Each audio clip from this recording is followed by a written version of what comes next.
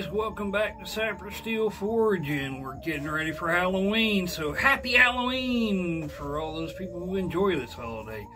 I know I personally do. I love it. So uh, as you as we've been lately, we're we're still pretty busy around the shop, but I thought we'd take some time and have us a little fun with a side project. Uh, we're going on a hawk bill. I'm gonna take this over there and grind it, and I'll work on that a little bit today. But what we're going to be doing is a little bit of Halloween treat. I've had a, uh, a crazy little idea in my head for a Halloween slash horror movie weapon. It, it's not something that would I would normally ever make. Not for a customer. It's just a, a, a crazy little stupid thing, but I think it'll look kind of cool. And, you know, Halloween's about looking cool, and, you know, horror movie, movie, you know, stuff's about looking cool. The scarier the weapon and all that. So, what I'm going to do is make what I'm calling the Ripper Hatchet. And uh, how's it going to be a Ripper Hatchet? Well, it starts with we're going to make it from an old saw blade. Now, this here poor blade belonged to my dad, and it has to say it's seen better days, I mean, you can see the rust is just eating some of the teeth off it already. It is in some sad shape, but that's okay, because this is going to be a wall hanger. So what I'm going to do is uh, I've already taken and marked some general ideas with chalk here, and I'm going to cut out what essentially is going to be the hatchet head. I may go a little wider, we'll see, and then we'll cut off some of the rusted part and I will put it in the forge for a little bit to get a, uh, a patina on it. Uh, you know, tell, get rid of some of this rust. I'll, you know, wire wheel it just to protect it. Uh, you know, in addition to uh, being for Halloween, it, it helps preserve Dad. You know, I got a lot of his tools around here. I always said I'd use his stuff, and I'm using his stuff, and this will go on my wall so, yeah, that's what we're going to do this week. Uh, next week, we're going to do another Halloween project. Uh, my apprentice Sean's going to be here, and we're going to work on some knives for his wife's uh, costume. So, the next two weeks is going to be costume weapons, and uh, yeah, among the many things we're going to do, you know, I, will take y'all step by step, but we're definitely going to dull this down. It's it's not great now, but let's get it completely safe. Safety first. Anytime you're working with stuff like this, uh, yeah, I really shouldn't be touching that rusty part, should I? Uh, as I say that, but anyways, yeah. So that's what we're going to do. We're just going to step by step turn this into a ripper hatchet. It's going to be fun.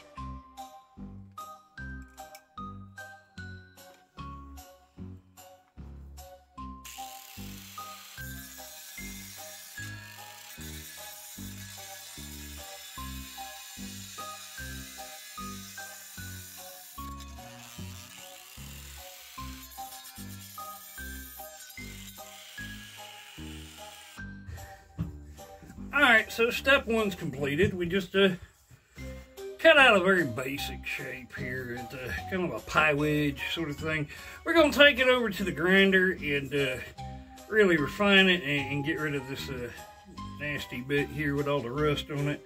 And like I said, we'll, uh, we'll dull these tips a bit and uh, get all the grinder slag off there and what have you. And then once we've got the uh, the proper hatchet look, then we'll move on to uh, the handle and stuff. It's it's going to be a simple enough project, but uh, with the added twist that uh, we're going to use some of my Halloween makeup effects and uh, add some blood and stuff to it at the end. So it's going to be fun.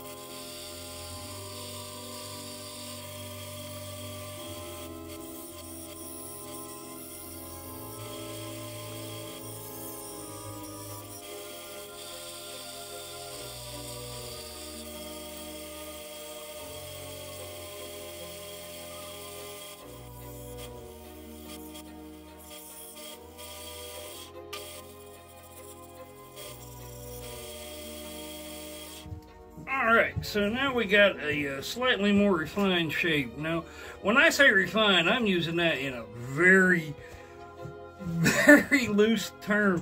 What I mean is that it looks something more like what I want it to. Number one, I, I the, the idea I had behind this whole thing was like a horror movie villain who makes his own little hatchets out of day-to-day -day crap, and this is just one of them ripper hatchet. And so it's supposed to look crude. It's supposed to absolutely look like it was made from a saw. It's supposed to look like it will hit and rip as opposed to cutting. Now we did take and hit these teeth on the grinder, so way safer now. I mean, I wouldn't go jamming your hand on anything, but I wouldn't recommend that in shop anyway, so just don't do that. That's, that's pretty simple. So next thing we got to do is we're going to heat it up. And uh, in the process of, uh, we'll get rid of the brand name. We don't we don't want to messing with anybody's brand. But also we'll uh, anneal it, make it softer so we can drill a hole. I'm not going to use this hole. Uh, frankly, it's just too dang big. I, I don't know how to go about I don't have anything big enough to, I don't have any bolts or anything big enough for that.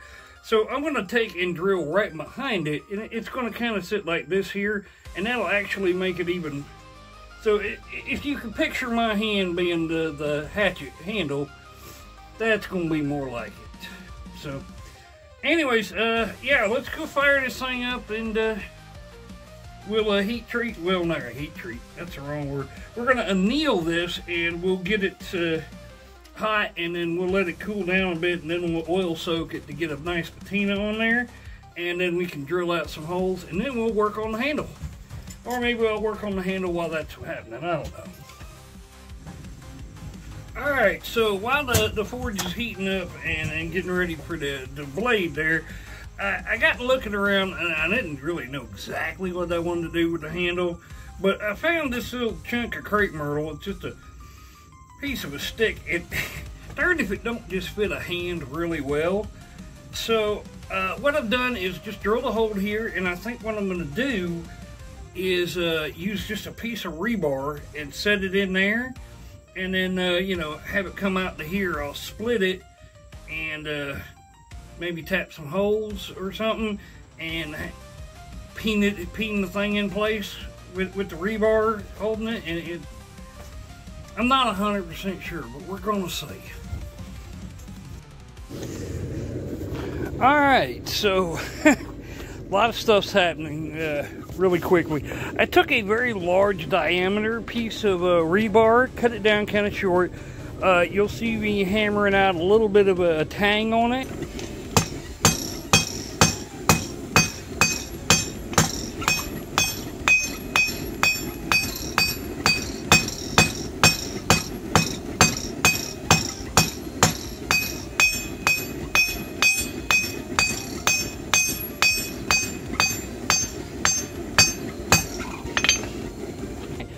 And then doing a burn through on that piece of wood.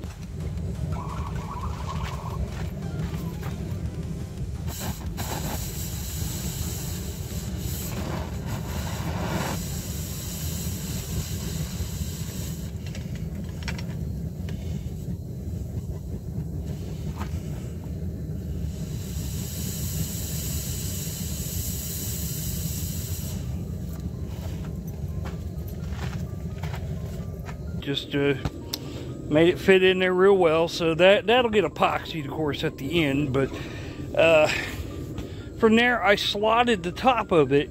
And so I'm getting the, uh, the rebar in the uh, blade super hot right now.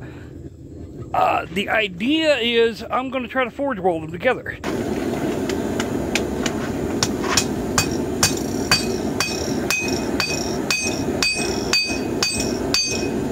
I tried drilling the uh, blade and it just did not work. Even after annealing, it just, the bit just won't bite in.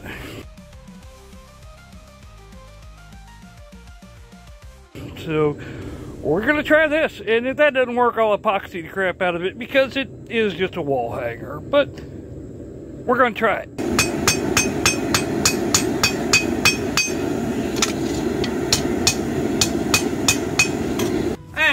So it's the next day.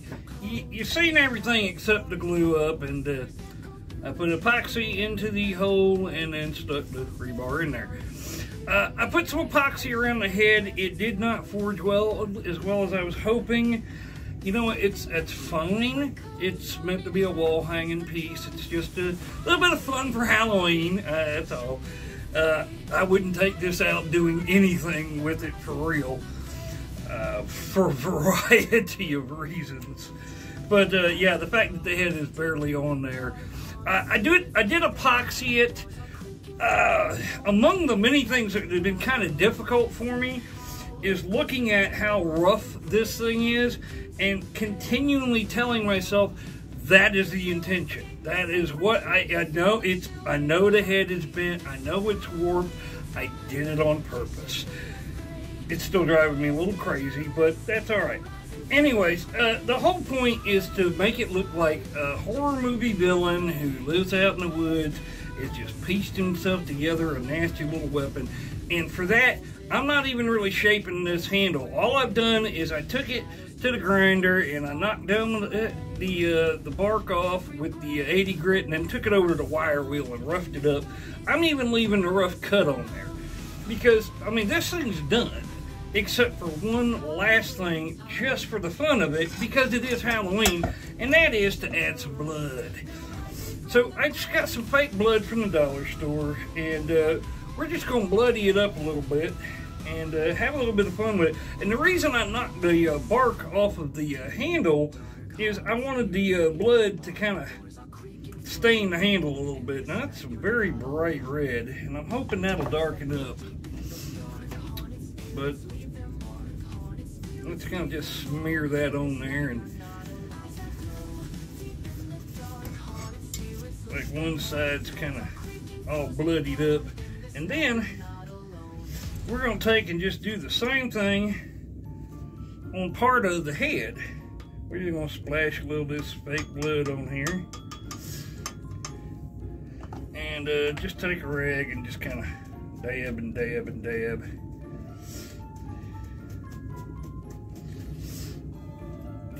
bloody it up a little bit here. Now,